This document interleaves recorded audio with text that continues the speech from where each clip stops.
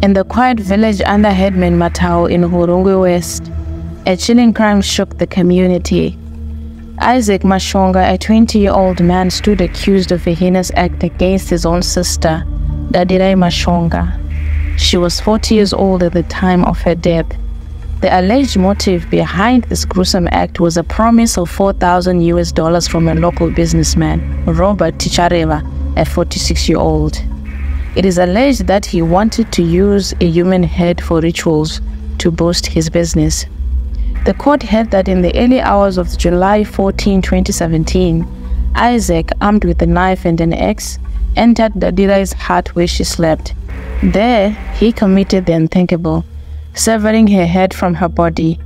He then placed her head in a satchel and discarded the blooded tools in a disused toilet at their homestead.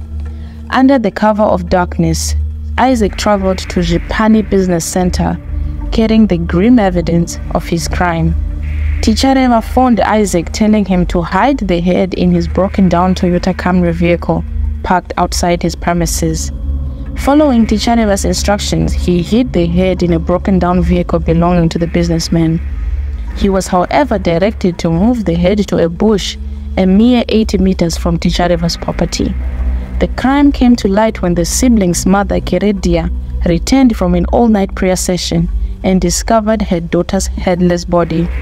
The village head, Champion Mashonga, who is also the father of the victim and the accused, alerted the authorities and the community. Isaac's guilt became apparent when the villagers noticed bloodstains on his jacket. Upon confrontation and interrogation, he confessed to the murder and led the police and the villagers to the hidden head. The police confirmed the communication between Isaac and Tichareva through phone records and recovered the weapons used in the crime. The aftermath saw Tichareva's business premises vandalized, with property worth over 5,000 US dollars destroyed in an enraged mob. Tichareva's family was forced to flee the area due to the backlash. Both Isaac Mashonga and Robert Tichareva faced murder charges in court, with the magistrate remanding them in custody. The case highlighted the dark superstitions that still linger in some communities, where the belief of using human body parts for rituals to boost business prosperity can drive individuals to commit unspeakable acts. He was willing to lose his sister just so that he can have a few thousand dollars.